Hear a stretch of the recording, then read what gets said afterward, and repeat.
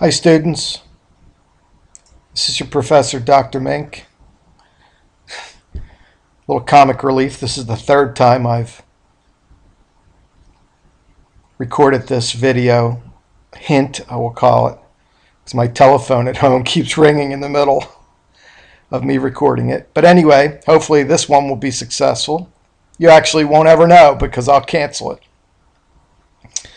This video will show the name and address project running, and I will give you some key hints.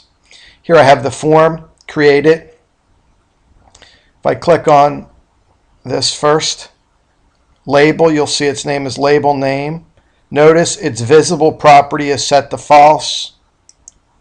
Label street, visible, false. Label city, state, zip, visible false, button, show info, button exit. So because I have the visible property set to false for the three labels, when I run the application,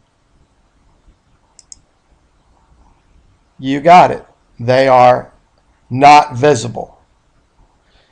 However, I've added code to the show info event handler, the button click event handler, that when clicked,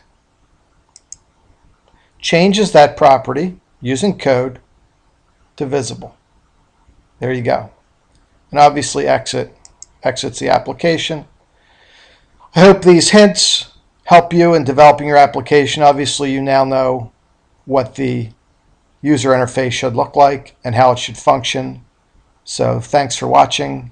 Have a great day. Obviously, if you have any questions, don't hesitate to contact me.